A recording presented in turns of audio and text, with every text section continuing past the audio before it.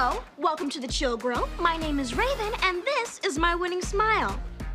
The vibe of the Chill Grill is literally the same. Same color, same setup, same jukebox. Hello, Chill Grill, my old friend.